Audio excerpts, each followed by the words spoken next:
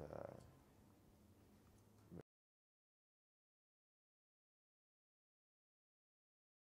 Do you know where you are? Are you? is it going so fast that your head is spinning, or? Yeah, it's like uh, that, that uh, when you talk about the out body experience, like my body is here, but my, where I don't know where's my soul right now. no, it's it's like um, I, I just uh, landed uh, a few days ago. Is it working? Just landed- I'm yeah, I, making thi- I think that- that, the, the lens went down or something. Is it possible? just making sure.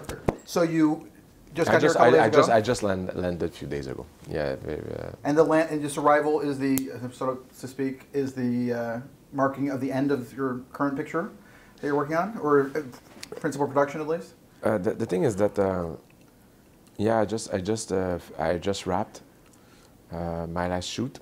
Mhm. Um, the thing about Arrival, uh, what is very strange for me is the is the fact that I I didn't have the time to digest the movie at all. You know, when you make a film, usually you have like at least few days uh, to recover and to to think about the experience you just went through, and it's like uh, to give birth to a movie. It's like a you know, it's you're when you're making a movie, you're going to you you you you you feel that you achieved some goal. You you went through pain, joy, anger, and and with Arrival, I didn't have any time to to uh, to digest. I just went straight on another movie, and and uh, that is not good. I, I I just it's just like um, I have no distance with. The, I haven't seen the movie uh, at all since I saw the, the the final print. I approved. I said, "All right, it's finished." And I just took a.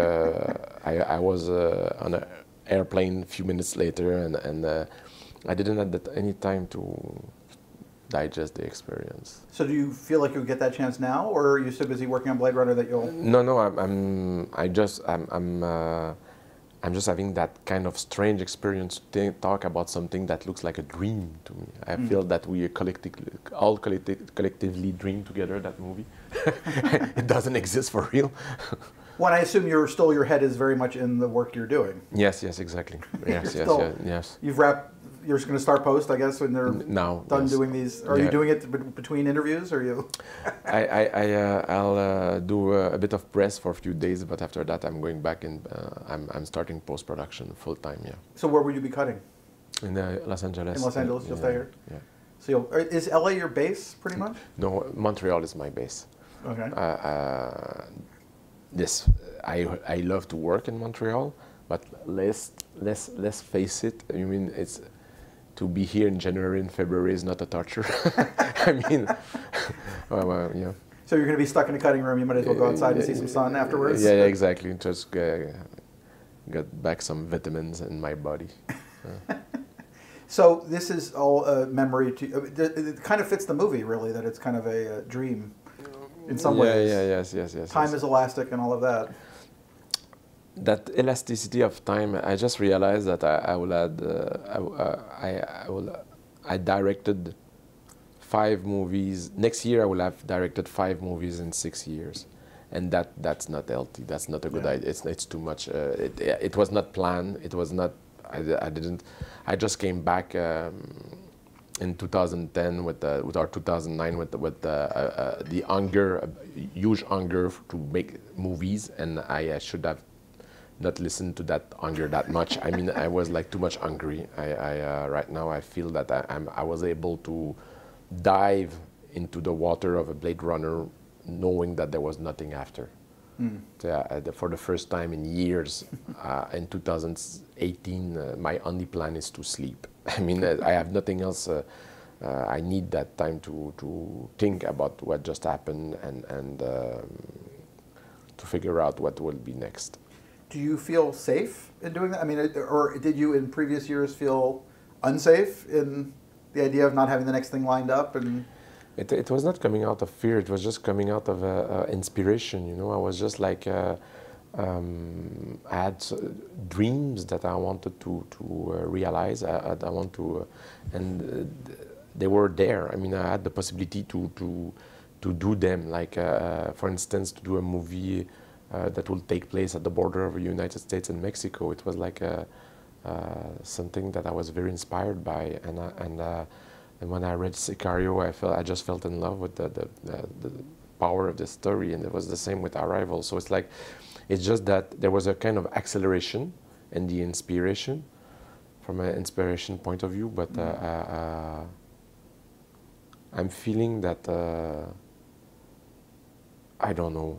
In the same time, the truth is that I never felt that alive. Like, I, I mean, to, to, I deeply love making uh, cinema. You know, that's my favorite part. I, I mean, that's, that's the thing I love is to make movies. To talk about them, I hate. But uh, but uh, but but but to to do movies. So I, I must say, I've been I never been that happy. Also in the past five years, we'll see.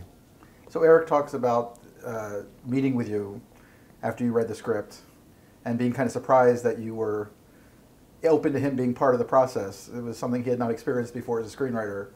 Um, would you have gone forward with this project had you not had a kind of simpatico thing with a screenwriter, or is that part of your process that you want to make that connection?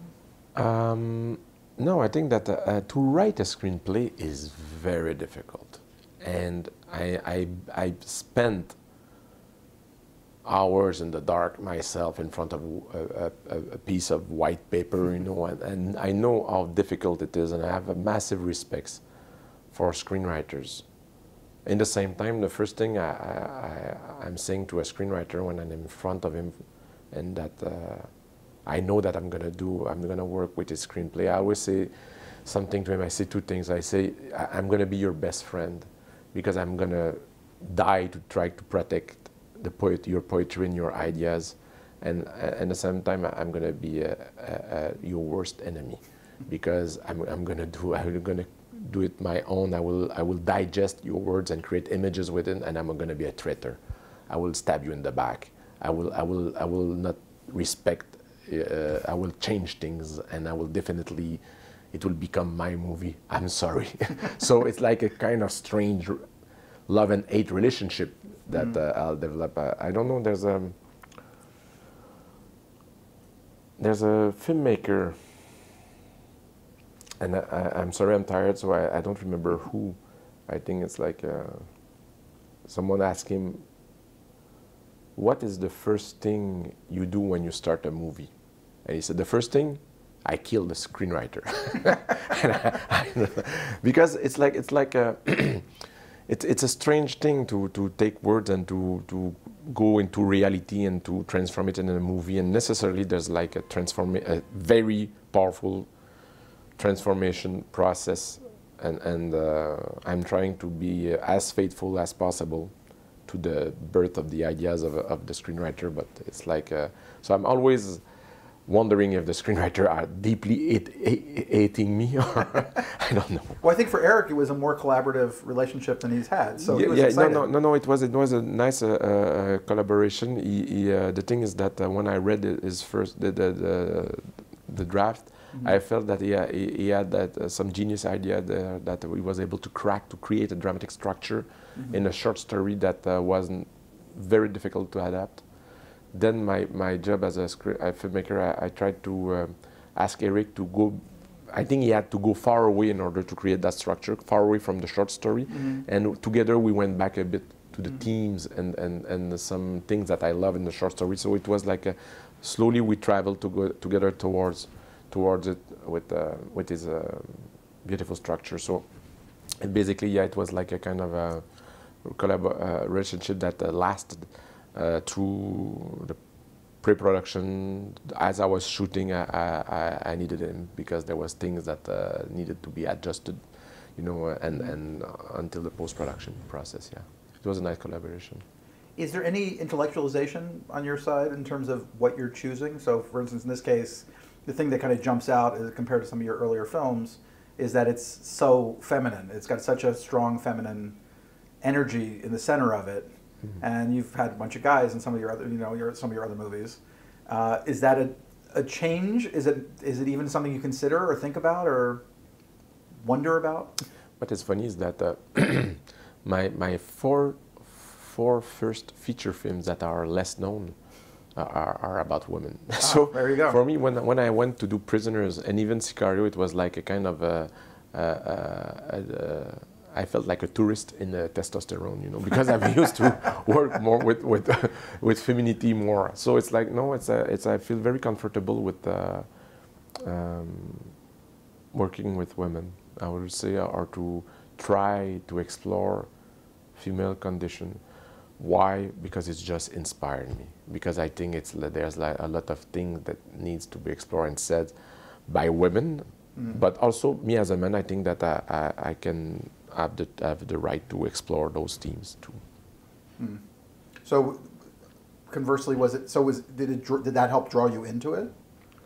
It's it's uh, you know it's like uh, I mean, it's a very hard thing to kind of like imagine as a director what it would you know what that energy will end up being on the screen. I would imagine from the screenplay, and how significant it is that I mean I, I keep on saying Amy is like uh, the Tom Hanks of this movie, except that it's a woman and it needs to be a woman. You know, you couldn't really adapt this movie for a guy. No, no, it's not. Successfully. No, no, no, no, no. I mean, it doesn't work. Uh, it, it's really a, a, a, movie that is about uh, the journey of a, of a woman, of a mother. So it's like, no, it, it can't, it can't, it could, it will not that have been possible to to uh, adapt it for a, a male protagonist. It, it's like a woman's story, which is beautiful. And one one day, uh, I hope it will not be uh, exotic to make movies about women. Yeah. it's something that. Uh, uh, at the same thing with Sicario, people saying, "Oh, you made a movie with a woman." See, and it's like, uh, no, so. Emily's not so thrilled about not being in the sequel. I had a little. I actually have I shot Taylor Sheridan for his movie that's out right now. Okay. Um, we talked about the sequel, and he said, uh, "Yeah, we didn't write a character for Emily. I had to call her." Yeah, and I saw yeah. Emily a day later, and I told her, and she was like, "What?" She was. No, she'll miss you. No, uh, I miss her too. I mean, uh, uh you know, in that in those five years, what I I I, uh, I slowly, uh, I mean, the thing that for sure increased or, or uh, get got stronger inside me is my love for actors, hmm. and and how I'm inspired by them, how I I, uh, I love more and more collaboration and and uh, more and more uh, to be uh, to establish strong relationships with them. It, do, it doesn't al always work, and by the way, mm. I mean sometimes it, it failed, sometimes, but but when it works, it's such a beautiful feeling to uh, to create together. That I, I really love. Yeah. Does and the size of the movie matter in that regard? Not at all. No. So in something as complex as Blade Runner, you're still having that it's, experience? It's, it's, it's the same. For me, the process is the same on Enemy or Blade Runner. I mean, the idea of uh, establishing a strong. Um, it can't be artificial. I mean, it, it's just like it's like uh, it's things that uh, come come with casting and, and with intuition and uh, it's like uh, you cannot create friendship. You know, it's like it's just happened. But when uh, uh, and I'm not talking. Uh, it's I'm in the wrong direction right now. I'm not talking about friendship. I'm talking about bonding. About creative bonding. About I, I, mean, I had like very strong uh, relationship, creative relationship with actors that are not my friends. You know, it's like, a, mm-hmm. and uh, it's just that when you have the chance to work with uh, someone, I think that on each movie, uh, there's someone that I, I'm slowly uh, understanding that this person will be this actor or actresses will be my, my muse, and I, I will need to follow that muse. Hmm. And each movie has a different one, and and and uh, when you discover that it's like um, that's the most beautiful thing uh, because you you will have a, a, partner to go in the dark you know that i love. So who was it on Arrival amy amy, amy definitely amy. Amy was like um, the most engaged and, and generous artist i've ever worked with. Hmm. she was like just trusted she was trusting me 100% without any um, regards, no egos, no ego at all. I never met and, and willing to do anything. I mean, a very impressive uh, artist, yeah. What was the craziest thing you asked her to do that you thought she might go, eh, I don't know? Or was there anything? But at the end of the movie, the, the, the, there's a specific scene where uh, she was like uh, being in contact with the alien atmosphere Mhm. and being like engulfed by that atmosphere, and that required her to really um, let things go, you know, just to try to act like she was like uh, gasping and uh, uh, lacking hair, and then is trying to. It's it's like it was not easy because uh, uh, uh, actors will always feel that they can look ridiculous, which can happen, and, and and she was like trusting me. It was that was an act of faith to play with the alien. Uh, mist you know to, to Mhm. interact with that and trusting me because for that specific moment she was just in front of a green screen for that very specific moment i hate green, green screens I, I, we worked with green screens uh, on arrival for a, a day and a half and i was about to kill myself it's so uninspiring I, it's like a color that has uh, uh, uh, sucked out your energy As it's designed to do, pretty yeah, much. yeah, That's yeah, yeah and and and um, It's the one color you wouldn't want. and, and, and it's like on, on arrival, we made sure that we will use as less green screen as possible. I'm, I'm totally switching the subject right now. Sorry. It's like no, it's okay. Did you actually just do two days of green screen on this whole picture? Yeah, the, the, Wow. the, the rest of the movie was, uh, there was always something practical.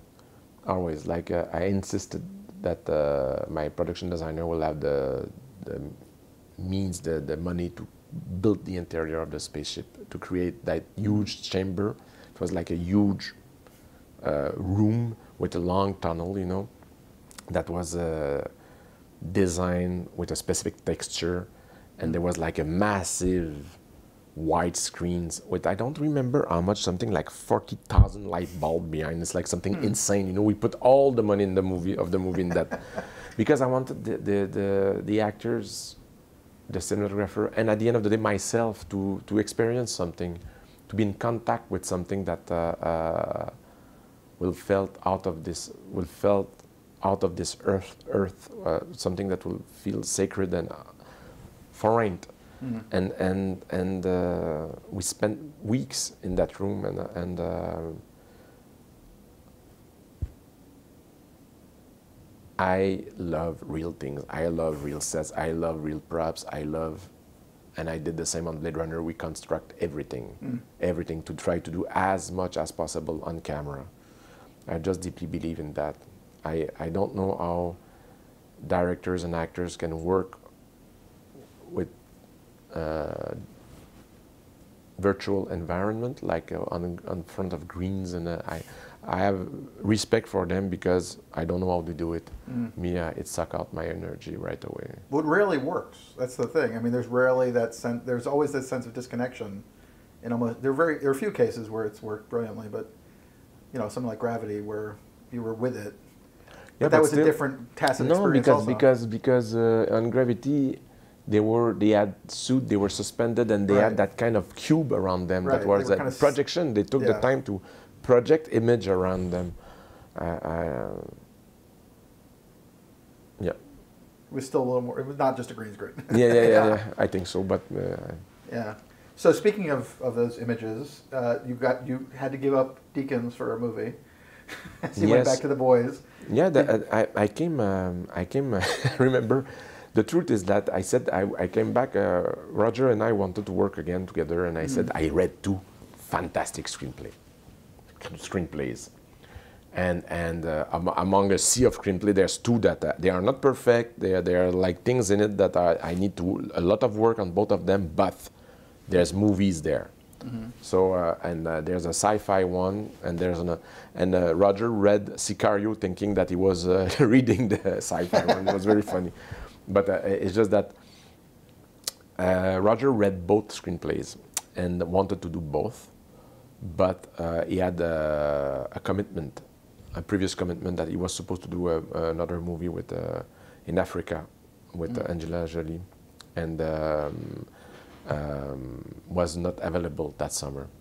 That year, in fact, he was totally uh, committed to another project. So um, we, um, I had, I was like an orphan suddenly, and it, and, it, and it, it was like um in a way perfect because I, I um, it gave me the opportunity to to look around and and see the work of uh, a lot of people, and one of them stood out. I, I just felt in love with, with the, the, the eye of a Bradford Young. Was it his work on Selma, or was it something else that you saw? Um, the, his work on Ain't Them Body Saint Ah. that attracted my eye at the beginning, and Mhm. and uh, and his sensitivity, Mm. and his flexibility, and the way he embraced natural light, and how he can, the way he was able to create atmosphere with that natural light, and Mm. and uh, is uh, how I felt he was not afraid of intimacy, to be listening to actors and to be close to them. And, and uh, I'm not talking with the camera but about the way he was shooting them. There was a strong feeling of intimacy that I was looking for. And, Mm. and uh, um, it was a beautiful journey. I mean in a way uh, uh, uh, very far away from uh, Roger Deakins in some regards. And, and that was a good thing you know to, to just go in a total different direction for me and to explore something different and and uh, yeah uh, uh,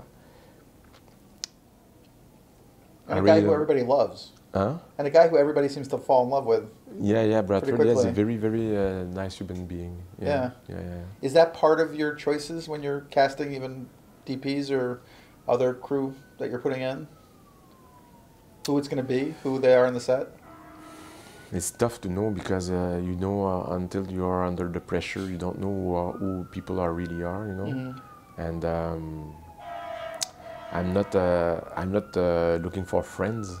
I'm looking for uh, collaborators that will be able to uh, embrace and follow my vision, you know, and to bring. Uh, I, I, I like. Uh, Apparently, they're coming for you. yeah, yeah, exactly. They found me. Shit. I thought. I, I, I thought uh, I, it's.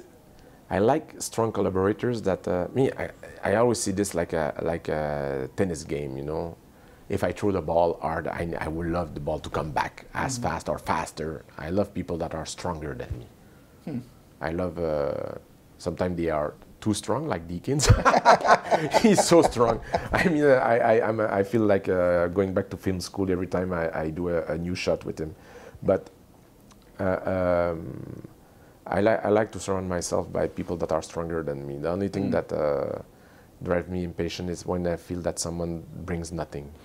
So, uh, I like I like when people are like uh, strong opinions and uh, and are ready to fight for it, and uh, I love that. So you don't mind a jerk if they're really good at their job and I, d- and yeah, no, no, no, but it's like uh, my what the thing I deeply love about my editor Joe Walker right now is that he, it's it's a, is a is a very strong artist, you know. Otherwise, I will edit alone. I will be able to edit a movie alone. So I will. The movie will be less good. That's Right. the truth. Because, but uh, uh, I feel that that collaboration with Joe just creates something much more powerful. And and uh, but he, because he's a very very very strong artist, yeah. Mm. so he's just opinionated. I will not say opinionated. He's not just there to service your shot choices. The, the thing is that it's not opinionated. Uh, it's not that uh, at the end of the day, I'm the one who decide. But I like strong artistic visions that uh, could sometimes be in contradiction with mine, and that will create a tension, and from that tension will come something stronger. I feel, yeah, or or we'll go with my idea. it's a, that's it. I mean, I'm. A, so Joe, I don't know if it makes sense in English what I'm saying right now. makes but complete yeah, sense. Yeah. but uh, so Joe will cut Blade Runner for you. Yes, he is right now. Yeah. And will, is that, I mean, when you've done these things two or three times and you're working with Deakins again also, is that a very different experience or is it just more of something you already had? I mean, is, is there a shorthand that develops and a, yeah, definitely. easiness to it? Yeah, yeah. There's a there's like definitely uh, uh, uh, the process became more and more familiar, and um, there's a familiarity. There's like uh for instance, Joe loves what I love, and and uh, will. Uh, I know it's strength. I mean, it's it's it just go faster. You know, the communication process is go is just faster. It's like there's no. Uh, we don't need to take care of one of. Uh, uh, we don't need to be polite anymore. Right. That's it's like it's like a real collaboration. Uh, it's uh, with, uh, with Joe. It's going to be my uh, third movie uh, with him, and uh, uh, I hope I will make all my movies with him. I mean, And does he cut through production? Do you do you Yes. like an editor cut through production? yes, I do because uh, it's like um, not that I want to see. It's very difficult for me to to hunt and cook in the same time. I can't. Okay, I need. I, when I'm shooting, I'm shooting. It's very uh, it's very difficult. If I wasn't a, a director, I would be an editor. I'm a very. I, I know that I have things that where I'm weak, but about one, one of my strengths is editing, and Mhm. and um, so when I'm in the editing room, it's it's very difficult for me to get out of the editing room. So that's why as I'm shooting, I, I'm trying to stay away from the editing room as much as possible, uh, to stay focused on on the uh, on the shooting process. But I like to have Joe behind me, looking at what I'm doing, make sure that I'm not missing anything. It's just like uh, and also I like the idea that he's editing uh, the assembly in advance. So when I, the, I stop the shoot, Mm-hmm. there's already a strong first cut that has been made. So have you Yeah. seen your assembly? I, I saw part of it, yes. And it wasn't didn't. So your assemblies don't freak you out, or do freak you out? That depends of the nature of the animal. sometimes, uh, sometimes um, there's some assembly where you get out outside and you say, all right, there's a, a, a baker could be an option. I could be a good baker. I could. St- sometimes you look at your assembly, it's a total catastrophe. You want to jump out, jump onto the bridge, or sometimes it's it's um, very very few very few times that the, the assembly is like oh okay, the, you feel there's a movie, but um, it happened. It happened a few times that uh, the assembly was a. Uh, there was a, already a strong vibe and a strong drive in it and uh, and uh, strong emotions. It happened, but it's not. Uh, it's uh, sometimes looking at the assembly is a is a very difficult process. But it, Mm. it, it happened very few times that uh, it was a beautiful one. yeah. Was was doing Arrival and the effects shots that are in Arrival besides the green screen, because obviously there are big effects shots and things in this picture. Th- is that a stepping stone towards something like Blade Runner, or is it just coincidental? No, no, it's it's uh, it's like um, I I uh, I uh, made I choose my projects according to their scope, uh, like um, in order. I mean, I will not have done Arrival after Blade Runner. I mean, it's like uh, Hmm. the the um, there was a fair amount of VFX in in uh, Sicario, Mhm. but more than on Prisoners and less than Arrival. And it's like uh, it's just like steps, and it's just like uh, I feel I will. I mean, I, I'm I'm doing something when I feel that I'm ready to do it. It's like uh, training, you know, and uh, and uh, so I was I, felt after Arrival that I was ready to do Blade Runner. That's what. It, So where do you go from there? Because I'm sure. I mean, unless you make a Star Wars movie, I'm not sure what else is going to have more effects. Oh no, no, it's not about the uh, effects quantity. It's about the, the technical complexity, or or uh, sometimes um, it can be something like the amount of characters that you have to deal with, or, or the, the the complexity of the structures, or dramatic structure, or things. It depends. You know, it's not about uh, Hmm. necessarily about VFX. I'm not looking. Uh, I'm not So the next picture could be a smaller picture yeah, by yeah, our perception, but be more complicated. exactly, as exa- exactly, exactly, exactly, exactly. Yeah, yeah, yeah. So does that mean that Blade Runner is a more emotionally complex than Arrival?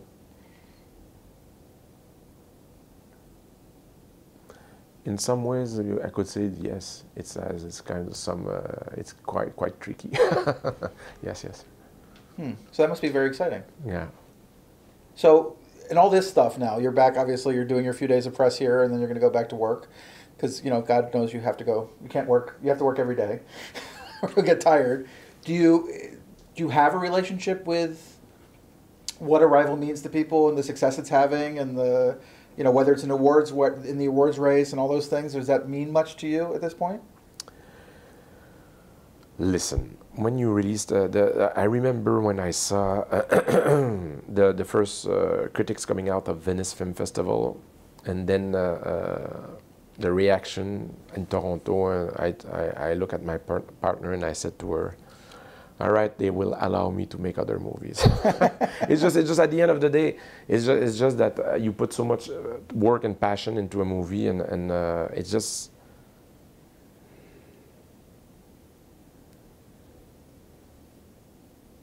cinema is a way of life. You know, it's a way of uh, a way of um, embracing life. It's a way to to to interact with uh, other human beings as a way of living, and um, it's a huge privilege. And I, I am, I don't think, think I don't take things for granted. Mhm. So I'm always saying thank you to the gods of cinema every time it went, it's going well. You know, it's like Arrival could have been a total disaster.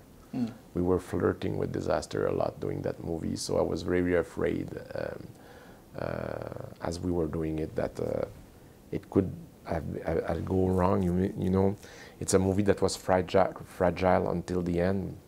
Why?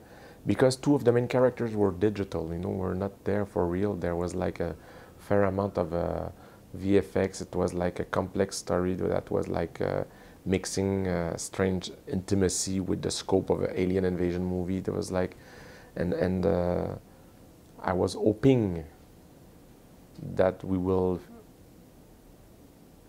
keep the tension alive and also but more important that the that it will convey the emotions that I felt when I w- was reading the short story and and I fought to to protect that the, to protect those emotions through the process so uh, it was a big relief for me to f- see that the audience is embracing the movie for what we, we dream it will be. I don't know if So it's important for you for the you finish the movie, you lock the movie.